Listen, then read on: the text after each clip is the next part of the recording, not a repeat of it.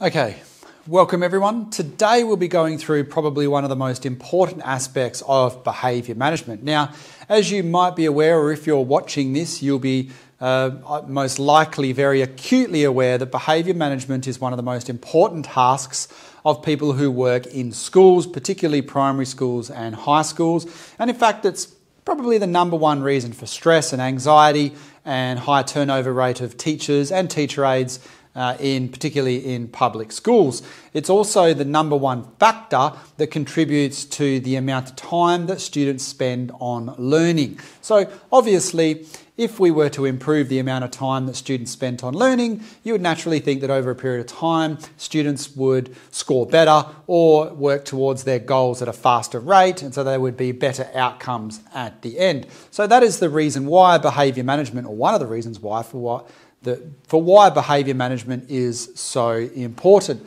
Now, one of the first elements that I like to talk about is the root causes of behaviour. And that's because quite often we treat the surface behaviours. Now, the surface behaviours are what we see. So, if we see a student talking or throwing things or generally mucking around or kicking a chair, whether it's real basic annoying things, uh, what we call disruptive behaviours, or it's the more serious things, what we call behaviours of concern.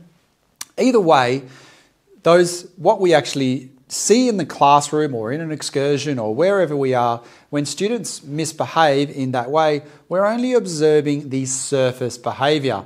Now, sometimes the surface, now obviously it is important to consider the surface behaviour and react to it, but there's also a step that professional educators do and very experienced educators do, and that is to consider the root causes. And that's because we treat the root causes and not the surface behaviour eight times out of 10. In fact, we actually treat both of them, so we react to both the surface behaviour as well as the uh, root behaviour or the root cause behind that behaviour.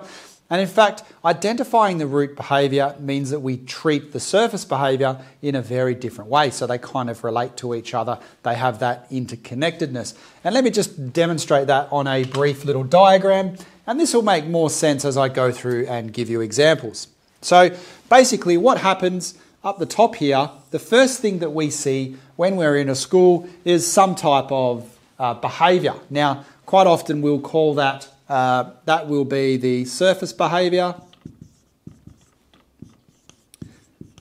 And again, that can be just the basic things like uh, throwing things, throwing pieces of paper, punching another student, swearing at a teacher, so on and so forth. So, this is the basic things that we visualize with our eyes before we analyze the reason behind it in any way um, whatsoever. So we'll change pen here just to make it nice and colorful. Now, behind that surface behavior, we have what is known as um, a response. Now, the response that we should be providing the response that we should be providing is in quite often is in reference to this surface behavior. Now, our response is all the various different behavior management type techniques and strategies and ideas and um, telling students off or corrections or pre corrections and so on and so forth. So, uh, this is the normal sort of procedure that you will see in a standard classroom if you just walked in and you had no idea about behavior management techniques, you would see the surface behavior and then you would see the teacher or the teacher aide with some type of response. Now, that response, um, however, should be affected by or most, most is most effective when we actually consider this part even before that. So the preceding uh, reasons for that behavior. So that's called what we call the root cause. So this is what you're probably used to seeing if you walk into a classroom. And now I just need you to, or would like, if you're studying this, to see you looking one step behind, I guess, one step in advance. Normally we go in this direction, but in this case, we're sort of already at the end because quite often we know a lot of appropriate responses. The whole purpose of this isn't to teach you different responses. We can do that uh, at a later date um, or in different videos. For this video, what we're looking at is going to the step earlier and thinking about what happens before the surface behavior. So, this is kind of like why the child would do this. And generally speaking, there are there's quite a few different reasons for um, well, there's quite a few yeah, there's quite a few different root causes. There's, well, in fact, there's dozens of them. There's probably about six to ten that we usually talk about quite often, such as um, attention seeking. It could be caused by a disability. There's a various different there are various different reasons. Now, sometimes the root cause is irrelevant, and that's for example if a student throws a piece of paper and it's just a simple little thing, it's just irritating. Johnny, don't do that. Go pick it up, put it in the bin. It's very simple. We don't have to worry about it. This doesn't apply all of the time. But if it is more serious behavior, or if it's repetitive, or if it's social in nature, or just as general good practice, you should always consider what was the root cause of that behavior. And again, sometimes we don't have to spend too much time there and we can just tell the student, we can just correct the student. That's just called a correction. Um, and um, problem solved, and then we move on. Sometimes we just do a low key response, problem solved, and we move on. But sometimes we also want to look and consider what those root causes are because that means that we can do this thing, the response, which is the treatment. I like to call, I prefer to use the word treatment, but response is exactly the same. If that root cause is not the same as the surface behavior or isn't obvious when we look at the surface behavior, um, then it means that we need to treat it or respond to it in a various in various different ways. So, um, to give you an example, if a student is uh, in class talking a lot, being really irritating, constantly interrupting the teacher, um, constantly getting out of their seat and moving around, annoying other students, typical off task behavior, what we would normally consider off task behavior, or even attention seeking behavior. So, here all we see is just some type of irritating behavior, all those niggly little things. And you'll see novice teachers or novice teacher aides or those who haven't really been trained properly in behavior management, unfortunately, um, they will treat that surface behavior. So the student gets out of their seat, their response is, get back into your seat. And your typical behavior management textbooks um, don't really go too much into this detail here. They'll usually do things like uh, the uh, matching the behavior with an appropriate response and so on and so forth. So that sort of floats in this area here. And if you've seen a lot of my other videos on behavior management, then you will have uh, you will have seen things like escalations and so forth. So an escalation doesn't so much take into account the root cause. It really looks at the surface behavior and it says, okay, this is what the student is doing. This is a minimal necessary force. That's another video I've got. Minimum necessary force. Um, and applied to that behavior to stop it from happening again or to put in appropriate consequences and so forth. So that's around this kind of area here. It's uh, responding directly to what we see, usually immediately, um, again, based on, based on what we actually observe and experience in the classroom. And it generally doesn't take into account any of the root causes. Now, if you're in a class and you're there for a long, long period of time, say you're if, you, if you're just walking into a class for five minutes, it's not really going to make it if you're there for an hour or whatever, um, and you're doing temp work or those types of things. Sometimes going this far back can be a little bit more difficult. But if you're on a class for a longer period of time, say you've got these students for a whole term or two or three times a week for an hour, or even if you're the full time primary school teacher, you definitely want to start looking at the root causes as often as possible. So, you know, not always when Johnny just decides to throw something, that's not really that important. You know, it's just one of those niggling, annoying things that happens all the time in a classroom, kids being kids. That's fine. We can look at the surface behaviour and go, don't do that, get back on with your work type of thing. But it, it doesn't hurt to look at the root cause more often than not, even just for a split second. And if we're having ongoing problems, those that 5, 10, 20% of students who are more of an issue when it becomes to behavior when it becomes when it comes to behavior management and their behavior in the classroom that's where we start looking at these root causes and what's going on. So in the example that i was talking about let's follow through. We've got a student who's always out of their seat so out of seat. So this student is constantly getting up moving around doing various different bits and pieces annoying other students really disruptive. Probably a really nice kid, someone who the teacher get along with, uh, gets along with, sorry, doesn't swear at the teacher, isn't necessarily aggressive, but they've got all these surface behaviours that add up to something different, to a different picture. Now, in that case, the root cause for that behaviour could be a range of different things. Now, that could be an undiagnosed disability or disorder like um, ADHD or some type of um, processing disorder like auditory processing disorder or something like that. It could be task avoidance because of fear of failure. It could just be that um, desire to socialise. Um, it could be a need to be the centre of attention. Um, so there's a range of different root causes there. Now, if we determine that the actual root cause of that surface behaviour is a fear of failure or um, uh, and sort of an escape reward mechanism where they're seeking to get out of doing work, they want to get in trouble to be removed from class, um, then treating that type of behaviour happens very differently or is, or is approached in a very different way than continually looking at all the little different bits and pieces, or even putting all that together and saying, look, putting this pattern of behaviour together, this is the problem, um, therefore we're going to put you on a red card or we're going to put you on some type of behaviour um, program or behaviour um, system that means you have to get it signed off every lesson, and uh, if you don't, you don't get to go on the camp or whatever. So, um, understanding that root cause in this sense means that we might say, okay, the reason this student is doing all these things here is because they aren't that confident. They don't have much self esteem uh, and they're very much worried about failure in front of their uh, friends. Maybe they're just lacking motivation, um, or maybe it could be that they're drinking two litres of Coke at lunch and then being on a massive sugar high for that particular lesson. So, again, there can be more obvious reasons for it, in which case, how we deal with the surface behaviour is going to change. So, in that particular case, if the student is uh, really worried about failure in front of their friends, then uh, or in failure in front of their peers, and they've just in this entrenched habit of avoiding doing work, then we would start looking at how we go about um, helping them to achieve micro goals, scaffolding their work down into much more smaller chunks, uh, moving them to a separate part of the room, thinking about whether we can um, do some type of remedial instruction or catch up instruction, uh, any type of differentiated instruction.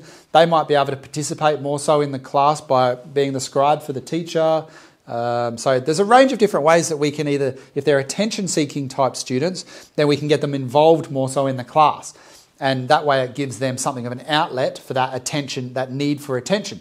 If they're avoiding doing work, then and avoiding that sense of failure or they're feeling frustrated or whatever, maybe there are some glaring gaps in their core skills that just need amending. So um, we can go about trying to fix that up. And that's not to say that that won't work because it's sometimes it can be quite difficult to diagnose the real root causes, but then on other occasions um, it's quite simple. So that gives us the ability to have all these different responses here, and we can actively, what we're doing here is instead of just reacting here, we're thinking proactively in many cases. This is where the proactive type um, activities happen and systems and processes get put in place, the pre corrections, the behaviour plans, um, or even just thinking through those tiered responses. So, if the student does this or a student does this, what are we going to do in reference to and knowing what the actual root cause is? So, um, conversely, if the root cause is something like a disability or disorder,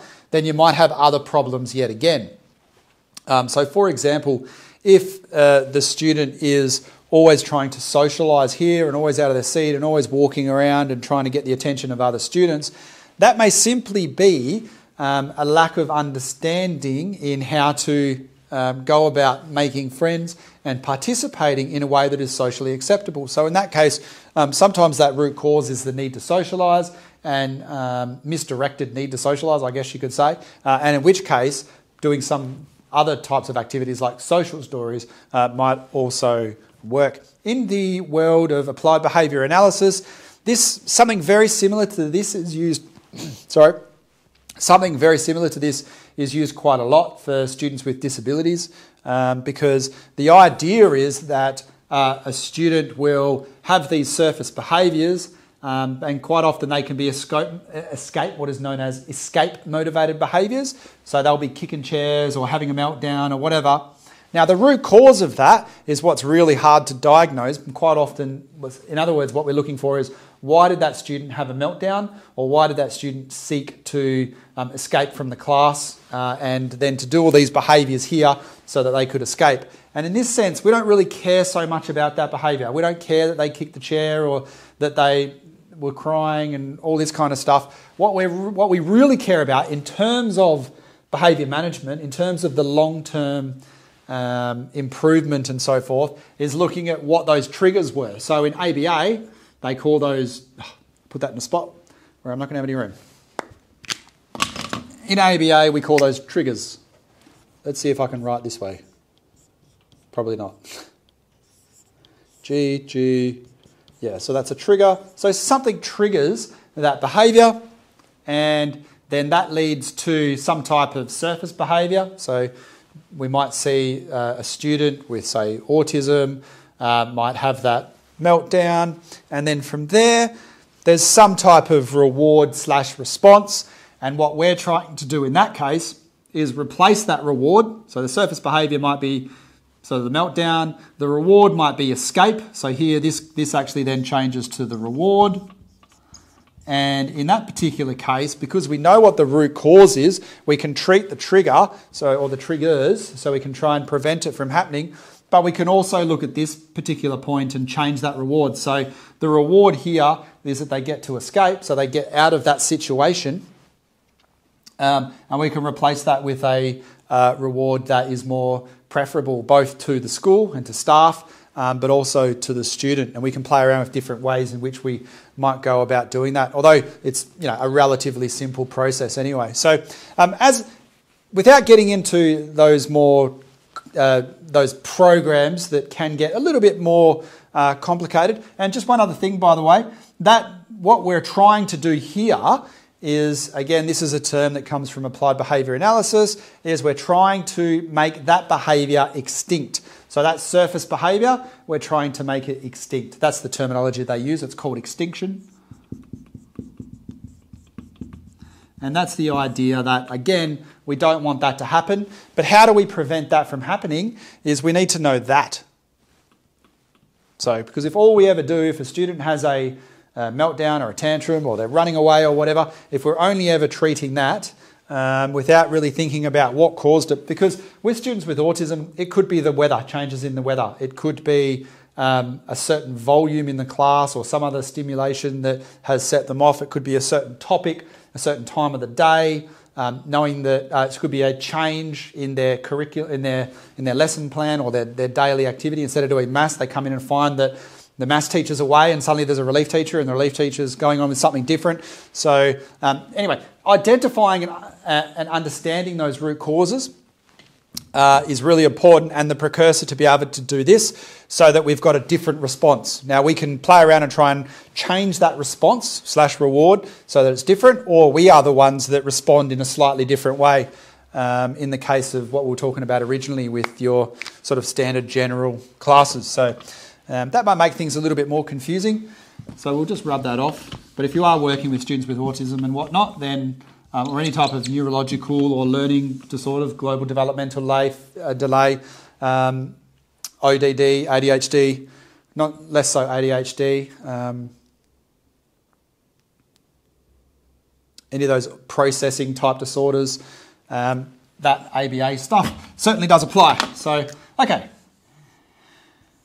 now, next thing I want to do really quickly is just write up a list of some of the more common causes, some of the more common root causes that you can potentially consider. Now, we're not talking about, uh, I probably shouldn't have mentioned applied behaviour analysis because it does get a bit confusing here, but I just want you to think in terms of this is the stuff that we see a student do the cause is slightly different to, or there's, there's a reason that might not be known to us that's not, it's not obvious, I guess. So we have to really stop and think, why is the student behaving in this sort of way, as opposed to simply reacting to what they're doing?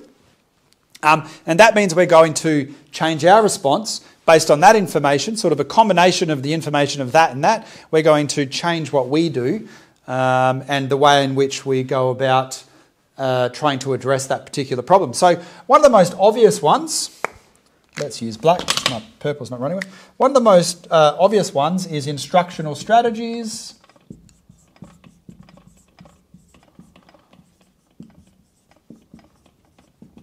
Another one is social, sort of a social need, I guess, need to socialize. Now, instructional strategies basically means that um, that includes, or I'm going to include within that resources as well. So that's curriculum, resources. Um, you're doing your, by curriculum, I guess you, you I'm referring to the teacher's curriculum or the teacher aide's curriculum, not say your national curriculum or whatever it is. Um, we're looking at things uh, like your activities, activities and planning and so on and so forth. So, but um, if you've seen in my instructional strategies video or my teaching skills and strategies type videos, um, then you'll know that there are hundreds of those. And to give you an idea, if you're doing something that I like to call the set and circulate method, which is where you're setting some work for a student and then you're walking around, or for students, and then you're wandering around the classroom for 15, 20 minutes expecting that students will go on with their work, and you're having a huge amount of behavioural problems there. That, I call that the set and circulate method. It's not a bad method, it's one of many, but if you are having problems uh, and you are doing that, then I would recommend considering changing things up and watching my explicit teaching video or my other videos, uh, well, any of those other videos that um, involve any of the sub, I suppose, areas of explicit instruction because with that you do faster pace, faster, uh, more momentum. Um, watch my video on setting goals um, and guided learning, shared learning, modeling, whole part whole learning, deliberate practice. Uh, so forth, so on and so forth. So, changing up your instructional strategies, and there are literally hundreds of them, um, is one of the reasons that can uh, uh, be, uh, be allocated, I guess, to this root cause box. So if you're doing some, if the strategies that you're using aren't appropriate for that age or aren't optimal for that age or that group or that ability or whatnot, um, then that can lead to a bunch of these behaviors. Now, it's easy enough for us to say, well, they should behave because they're kids. But uh, you know, in the real world, that sort of attitude isn't, doesn't really get us anywhere. In the real world, we actually have to do something about it, and changing up those instructional strategies is one of the best ways to do it. That applies for adults as well. So I teach adults a lot, and uh, we've done certain strategies where a completion rate is abysmal, and you change up your strategies, and your completion rate is close to 100%. So it's not just uh, kids that this applies to, it also applies to motivated adults as well, motivated and mature uh, adults. It makes a difference too. So the other one you've got is your social needs. So we sort of went through that before. Your social needs is that instinctual uh, students with that instinctual need to want to be friends, to be accepted by their peers, and so on and so forth. So another one is um, task avoidance. And that, that really is that fear of failure type thing fear of failure, and it's also fear of what I call loss of face, which is a term that I guess means to um, not be embarrassed, but to, um, yeah, I guess that's the closest word that I can think of. Loss of face means that they, yeah, I guess let's go with the word embarrassed. Um, yeah, that's probably the best way to describe it. So, task avoidance. Quite often, task avoidance is caused by that fear of failure or that expectation of failure or the or the um, uh, frustration is another one that causes it. So lack of motivation is another one. Lack of motivation is usually attributable to all of these because, as we always say, kids are motivated. They might not just be motivated to do what you would like them to do. Um, just going to change pen here. I'll just write a couple of other ones up. Oh, that one's even worse. Only one of them isn't working. Right, mental health is another obvious one. Medical is another one. So I don't know if you can see that. I'll move in two, two seconds. Medical treatment or um, I guess drugs is another one. Learning difficulties, disorders and disabilities, which again we've already uh, been through a lot of them. Environmental, environ, or contextual. There are quite often called contextual factors. Those environmental uh, reasons, Power is another one. Revenge. Uh, temporary issues.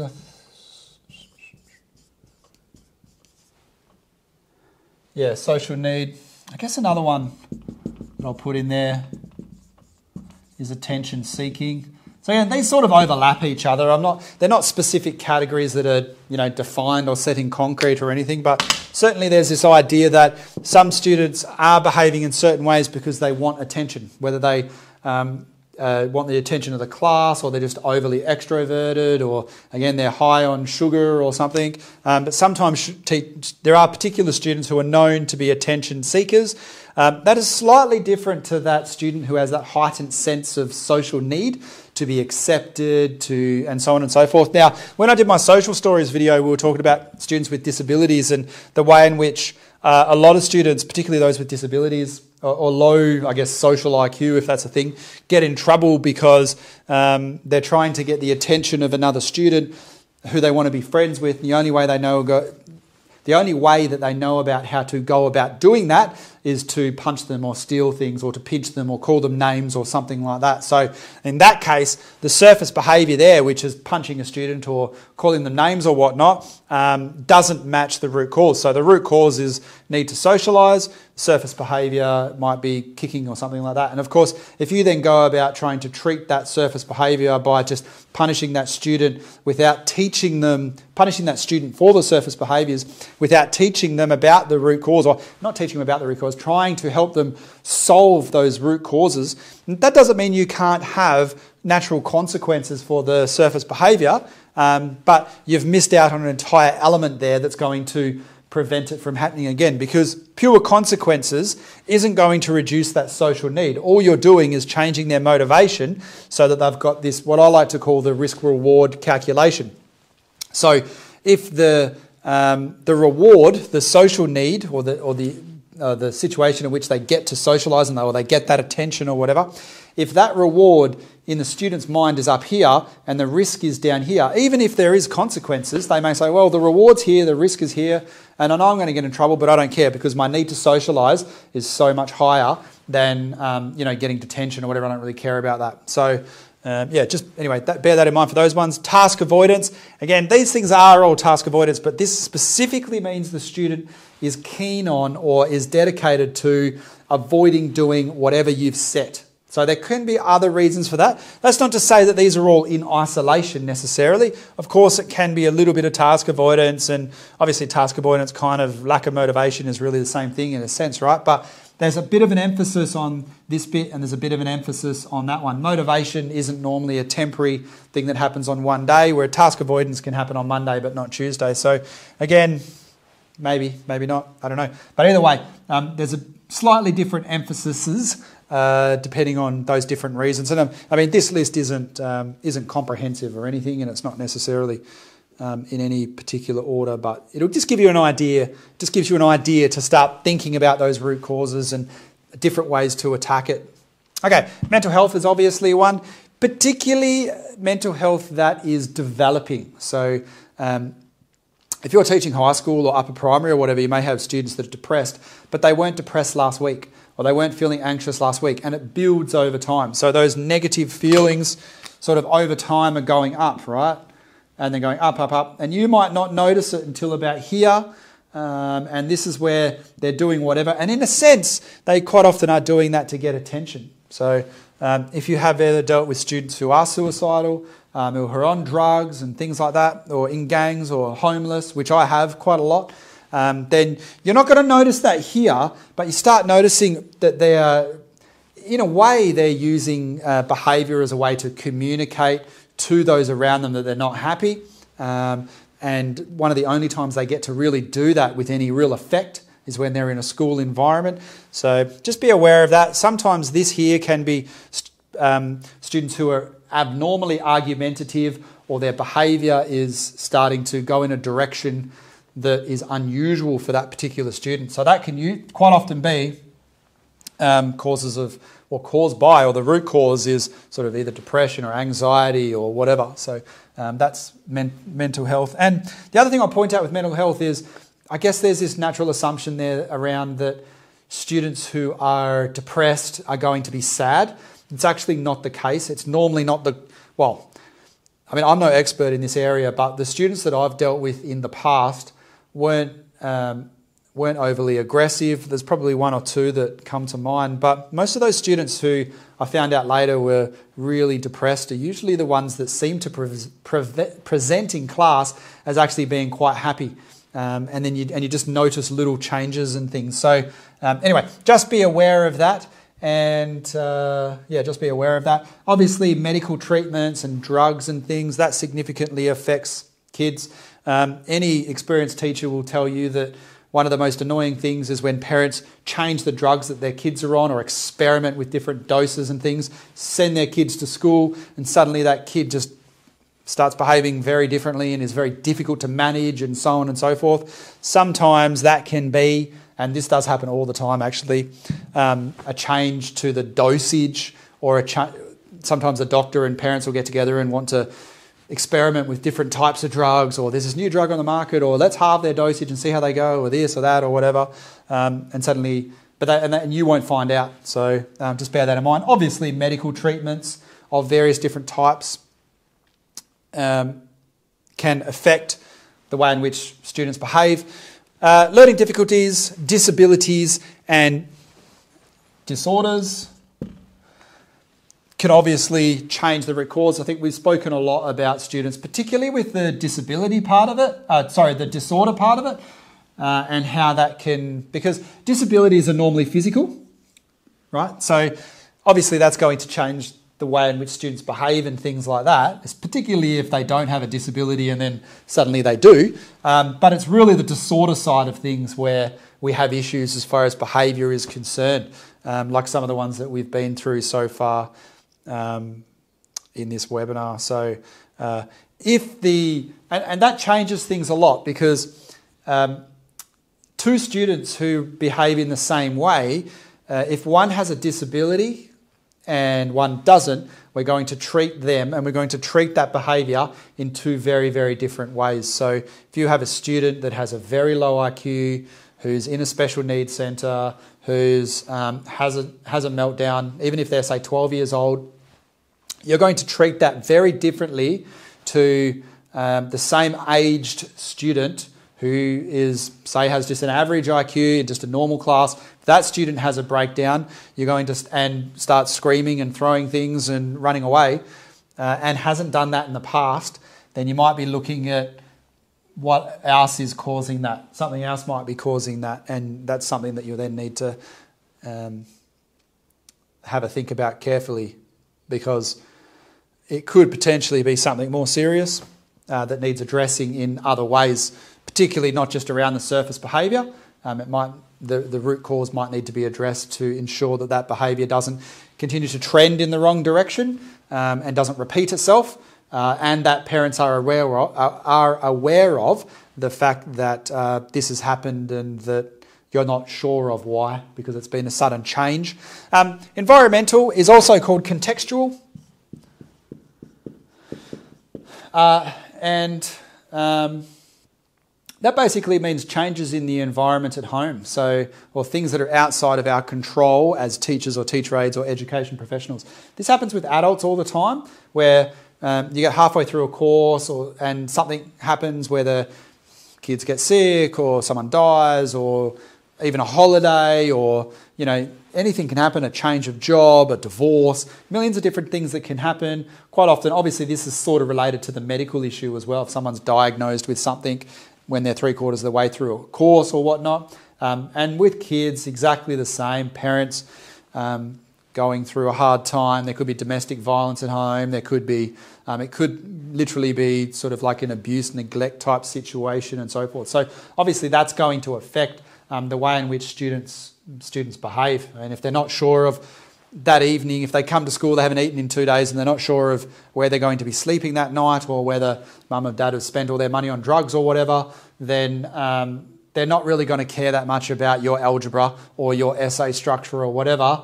Um, but that root cause for that behaviour and that lack of motivation is slightly different, means that you will treat and respond to that, or may treat and respond to that in a slightly different way um, than if it's a student who, for example, uh, is potentially on a new type of medication to treat ADHD or whatever. Um, okay, so next one we have power and revenge. These are extremely rare. A lot of the behavior management textbooks uh, and programs and things talk about this, this power and revenge students as if it's a thing that happens all the time. It does not. Ha- it very rarely happens uh, unless you're working in a behavior school. Then you're never going to see power and revenge. You may see students who are just very difficult and very challenging, but I don't think any student wakes up in the morning with the clear view and intent to try and seek and assert themselves as being more powerful than the teacher. There's always, almost always, another cause for it, uh, whether that's just a sheer will to not do work because of a lack of motivation or because of something else. Now, obviously, if you're working with students with disabilities and disorders, that may not always apply. Um, but again, it's not uh, in that case. It's not so much a power issue anyway. Um, it's caused by something different. So it's caused by a, uh, something behind the disability, like one of the symptoms or whatever. So, um, and of course, revenge, which is probably even worse than power seeking. So, uh, revenge is where, um, you know, yeah, revenge is just much more serious than power seeking. And of course, that's where if students are in trouble and they they might turn around and then steal things from the teacher or whatever. But you're talking about students here who have things like um, uh, ODD, uh, oppositional defiant disorder, uh, and the various other iterations and types of those. But I don't think you're ever going to come across those students. And if you do, then well, you're extremely unlucky, and they're probably going to be in some type of behaviour school anyway. In which case, you'll be working with teachers who already know all this stuff like the back of their hand, um, and well, then you'll know we generally call them either power seeking students uh, or revenge seeking students. And again, extremely rare. Uh, if you think you've seen one of these or you're dealing with one of those students, then uh, I can almost guarantee you that you're probably wrong and it's probably something else. Uh, that's not to say it doesn't exist, but I don't think no student wakes up in the morning thinking, I'm going to go to school today and make my teacher's life hell. No students ever, very, very few students ever think like that. So, not to say it doesn't happen. These are, this is, I guess, what you would call evil, through lack of a better term well, probably really is. That's what we're talking about here kids that are just evil. So they have that psychopathic sort of tendency. Um, and even those that do have diagnosis along those lines still generally aren't power seekers. Manipulative, maybe, but that's different from being a power seeker and certainly different from revenge. So, uh, the reason I keep this one in here, even though it's, as I said, so ridiculously rare, I think a lot of teachers that have, if you took 100 teachers that each had 40 years' experience, they still would never have seen these type of kids. So, but I keep them in there because um, every now and then I do hear people talking about this, and um, I do see it in a lot of textbooks, particularly written by people that a lot of textbooks aren't written by teachers or experienced teachers. Um, they're written by people who haven't worked in schools before, and I think that's one of the areas where you just got to be aware of. If you do a PD on behaviour management, this stuff very doesn't really happen. It's usually something else. Okay, so, and then you've got temporary effects. Now, a temporary effect can be any of these, and it basically means that it's something that just happens today. So, I like to think that they're the type of ones where you can just forgive and forget effectively. You don't need to be um, spending a huge amount of time doing some type of behaviour plan or going through some type of process, calling parents, and so on and so forth. If it, the reason for that behaviour is identified as just being temporary. Sometimes it can be kids are just having a bad day, they're not enjoying themselves, they said something accidentally, and you just have to not forgive them. I mean, you, well, you certainly have to forgive them at some point, but you can treat the surface behaviour, and the root cause might just be it's just one of those things. It happened. The kid was just didn't have much sleep, whatever, got in a fight at recess, came in the classroom, really upset, swore at the teacher, ran off. Um, that doesn't mean that that student is some type of power monger, and it certainly doesn't mean that the instructional strategy is wrong. It doesn't mean that they're attention seeking. It could look like it. It doesn't mean that they're task avoiding. That's not even their main goal. That might be an effect of how they're behaving, but that's not a goal. It's not a medical thing. It's not a mental health thing. It's not a disability thing. That, and the other thing is too. I mean, that in this example, that student may have a disability or a disorder, but that actual behaviour wasn't caused by the disability disorder. It was caused by just a temporary effect of just having a negative social interaction at lunchtime. So anyway, they are that's the basics of root causes and this idea that whenever you're dealing with behaviour, um, just treating the surface behaviour is not always the best way to go, and we should quite often consider the root causes of what's going on and what is causing those behaviours that we see. Um, and I've gone through and listed one, two, three, four, five, six, seven, eight, nine, ten, eleven different uh, types there, although there's a few extra ones here, I guess. But um, there are a lot more. There can be lots of other reasons. These are kind of categories, I guess. Um, but uh, at the end of the day, I think if you don't remember all these, then that's perfectly fine. As long as you're thinking about, I'm seeing this, but something different might be causing it, then that's the whole idea of root causes because it gives you the ability to treat it in a different way. Bearing in mind that our response is normally not just a single response, it's normally a multi pronged response. So it might be um, some type of correction there and then, some type of error correction, or some type of reprimand there and then, but it may also be a slight instructional change or something like that. So if we know more than, particularly if we know that it's happening to more than one student, if there's multiple students who are suddenly acting a bit weird and not quite on task as you would expect them to be as usual, yes, we can respond to it and do those corrections and things to the surface behavior, but then you might start to think, well, there's a bit of a pattern happening here. So maybe something else is going on behind the scenes. Maybe it is an instructional strategy type problem, and I need to start, um, you know, instead of doing this model where I'm setting the work and sort of circulating, or we're doing group work, maybe we need to can that a bit and start doing more fast-paced, uh, fast-paced instructional type work where it's more teacher-centered, and then do pair work. We'll do group work maybe another day once we're more on top of things. So, um, other root causes, by the way, just off the top of my head, time of the day is a good one.